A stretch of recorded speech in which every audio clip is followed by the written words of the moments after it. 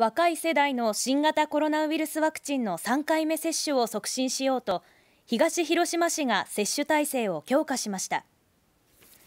会場の東広島市消防局ではワクチン2850回分を追加。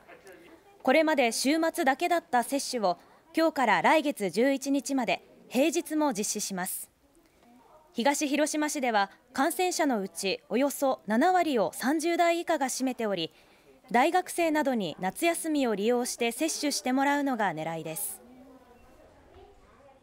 30代以下の接種率っていうのは低い状況で50%程度というふうになっておりますのでぜひこの層の方にあの積極的に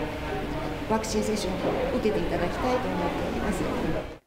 県内ではこれまでに広島市と呉市で感染確認が過去最多を更新。累計の感染者も延べ20万人を超えました